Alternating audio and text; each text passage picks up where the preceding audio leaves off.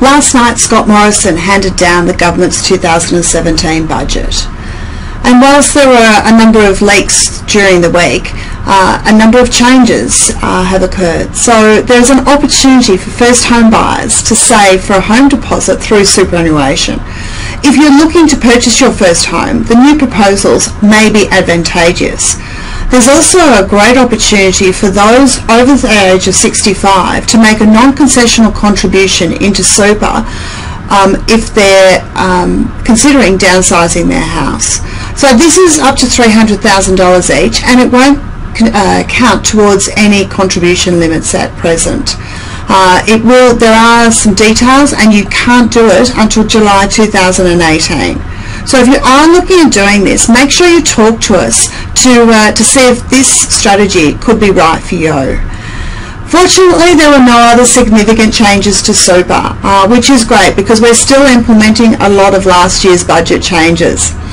A couple of other things uh, in last night's budget. Uh, the, there was the reinstatement of the pensioner concessional card that was uh, lost earlier this year. Uh, there will be an increased Medicare levy from July 2019 and there's a number of rental property changes. Uh, so please have a read of the attached uh, document to see how this is actually going to affect you if it does.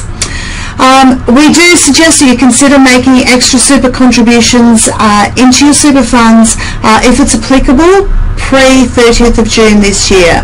Um, please reach out to, to chat to Warren, myself uh, or Glenn uh, and see how you can actually enhance your wealth accumulation plans uh, by making the most of the, the super changes that came in last year.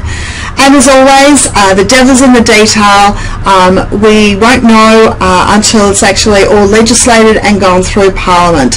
Having said that, um, uh, both parties um, have uh, come out and see we see that there shouldn't be any great opposition uh, to any of the changes uh, so we should see a lot of uh, the proposed changes actually being implemented this year um, you will also have noticed uh, potentially that the markets have reacted to uh, the levy on the big banks. So it's a watch this space to see um, how that levy will affect uh, investors uh, with the share price and also dividends down the track.